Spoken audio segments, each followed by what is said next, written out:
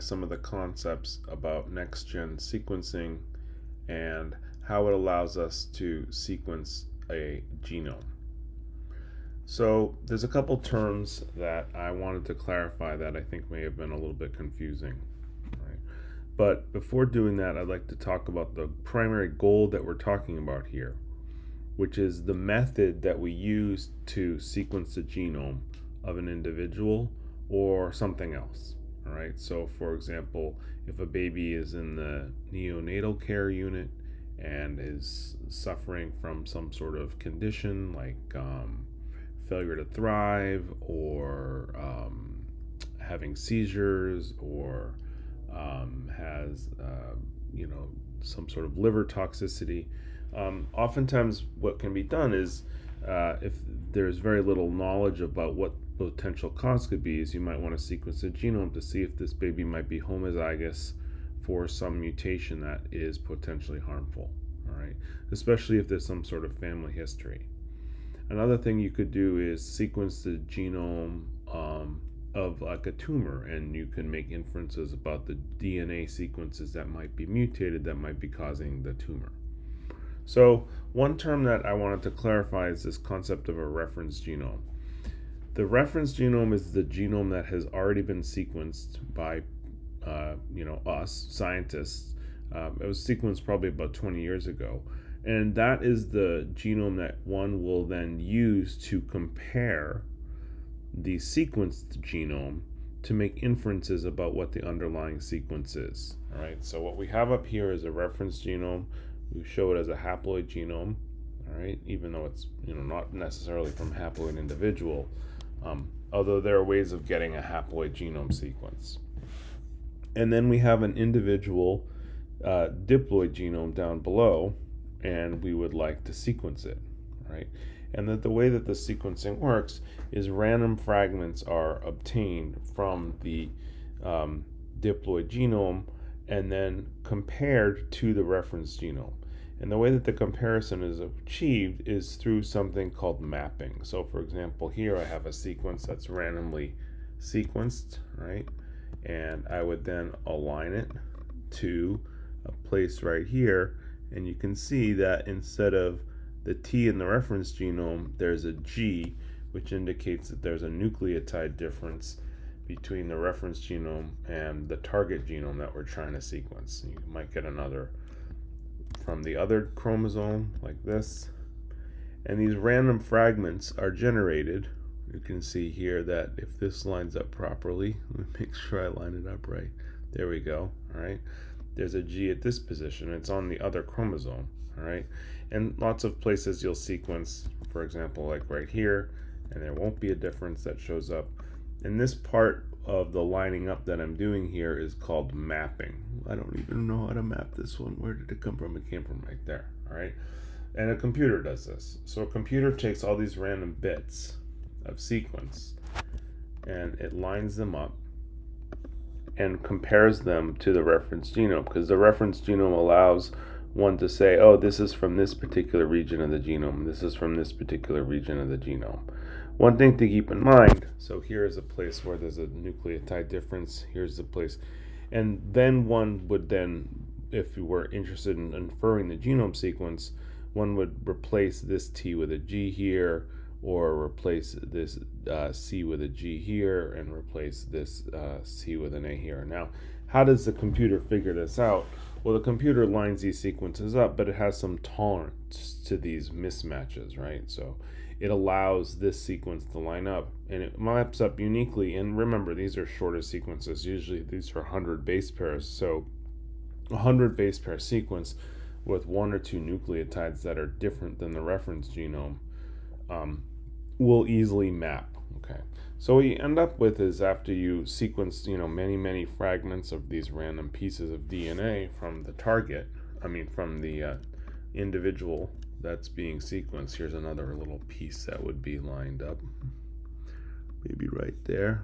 Just scroll back over this way to get myself back in frame.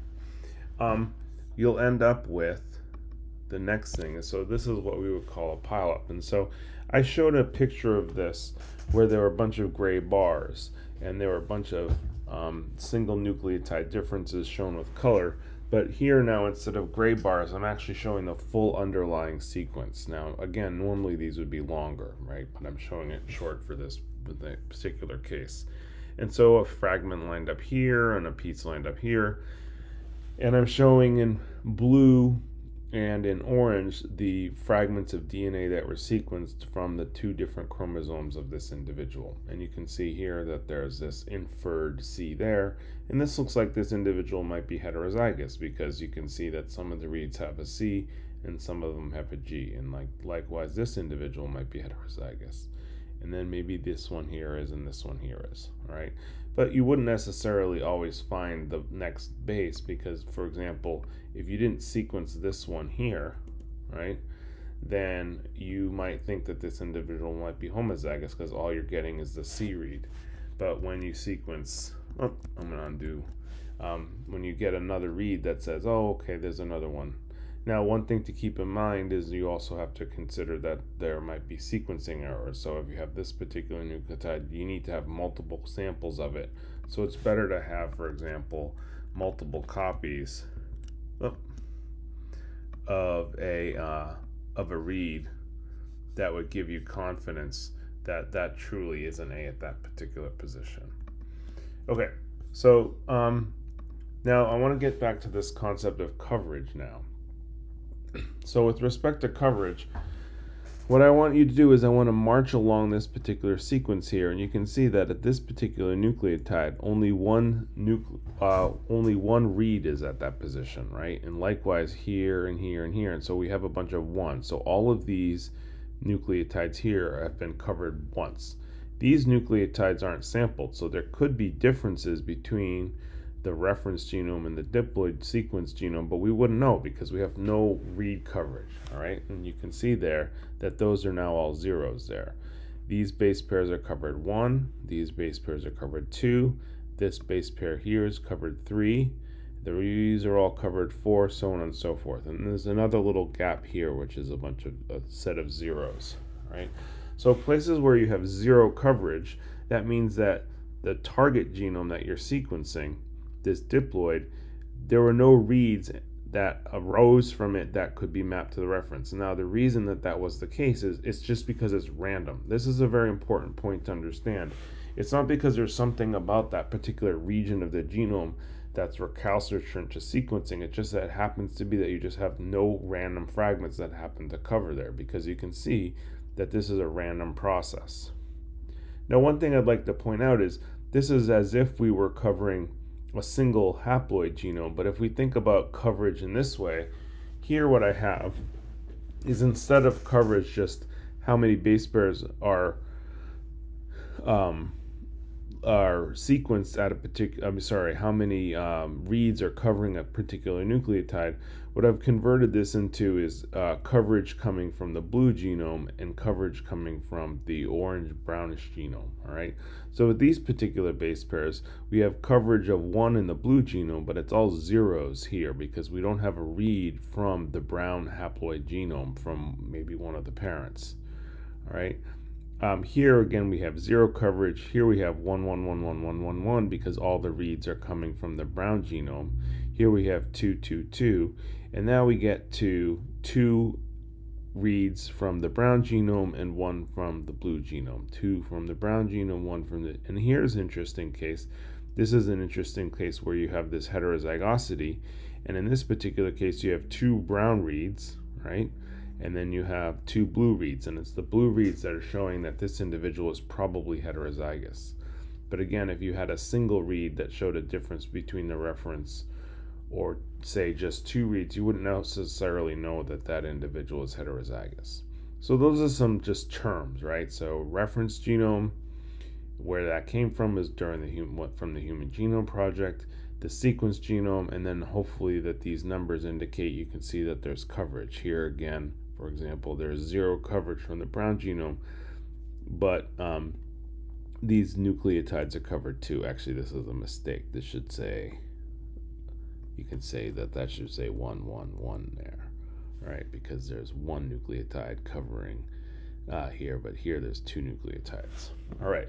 So this gets down to this concept of coverage. So I just want to remind you that fold coverage can also be thought of as average coverage, right? What is the average number here for coverage either in the diploid condition or say just the haploid condition? You could count up all those numbers, you can get an average. It looks like it might be I don't know about 3 or so, all right? So but the way that you calculate average coverage is you don't actually just necessarily count it up. You can, but there's a simpler way to do it is just to say, well, how many reads did I sequence? Up here it would be uh, 1, 2, 3, 4, 5, 6, 7, 8, 9, 10, 11. All right. So it's the number of reads times the length of each read. And I think those reads were probably on average about 15 base pairs divided by the target length. Right. And so in this particular case, it would be the number of nucleotides in the reference genome. So that would be the target length, all right? And then that will give you an average, all right? And so once you get that fold coverage or average, you can actually do some interesting things. You can determine what fraction of base pairs from the genome are sequenced 0, 1, 2, or 3 times. Now, obviously, you can figure that out empirically, right? You could just go and map the reads and then count them but this fold coverage gives you an expectation, all right?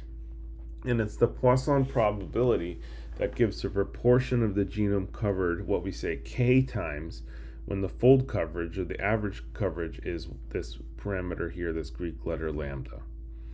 So I'm going to walk through this, right? So let's just do an example. Suppose fold coverage is 4, which, you know, maybe um, is approximate for this particular case. I think it's a little less than 4, but let's suppose it is. All right. So if fold coverage is 4, then we can ask using the Poisson, what proportion of the target genome is covered 0, 1, 2, or 3 or more times, right? Going back to here, that's places where covered 0 times or places that are covered, say, for example, uh, 1 or 2 times. And let's just go back to the simpler case here's the zero cases and here are the four cases and here are the three cases and so on and so forth. So let's go back here. So what proportion is covered four times? So what you do is um, lambda would be equal to 4. That's the fold coverage. And then we can ask the, how, what proportion is covered 0 times, what proportion is covered 1 time, 2 times, 3 times, 4 times. You could do more. You could do 5, 6, 7, 8, 9, 10, go on and so forth. And that is determined by filling in this uh, equation here where lambda is going to be plugged in as 4 each time. So lambda would be 4 here and it would be 4 here.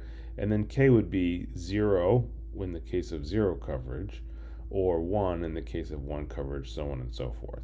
And these are the numbers. So if it, the average coverage is 4, you know, about 2% of the genome will be have a 0 coverage. And if average coverage is uh, 4, then about uh, 7% will have a coverage of 1, 15% will have a coverage of 2, about 20% a coverage of 3, and it's actually the same for 4. And you can see this with this distribution here, right? So this value here, this is 0, right? That corresponds to 0 0.18, then 0 0.073, then 0 0.147. You can see it's right close to 0 0.15 and then 0.195 is close to 2.20 so on and so forth and so these would be the probabilities of coverage you know 5 6 7 8 9 10 and you can kind of see that you know if the average coverage is 4 it's going to be very unlikely that you have reads that are covered 20 times but that will happen but if the average coverage is 10 well then that will be somewhat possible the average coverage is uh, uh, is is one here, right? The orange is one. Then you know more than 35% of the genome is going to cut covered zero times or one time. All right. So just a quick reminder as well. So remember that the coverage is the number of reads times the length of each read. All right. Divided by now, if you're talking about a haploid genome, going back to this case, here's it's this is covered four times because it's covered by one, two, three, four bases, but two of those are from the blue genome and two of those are from the um, brownish orange genome. So in fact, if we're just thinking about haploid coverage, we're not worrying about the fact that this is a diploid, we would call that four.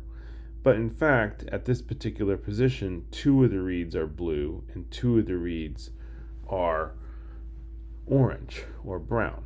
All right, and that means that at least per actual haploid genome amongst the two the the the, uh, the in, within the diploid, you know the coverage is half of what you'd say is this if you weren't actually sequencing a diploid as you're just sequencing a haploid genome. So the number of reads for fold coverage times the length of each read divided by the target length for diploid is two times that of the haploid. So to be more clear about that, for haploid condition, the number reads, this is just for the human genome, but this would be applying to, you know, any kind of genome. Uh, but in, the numbers specific to human here, the number of reads times the length of each read divided by 3 billion is the haploid coverage, right?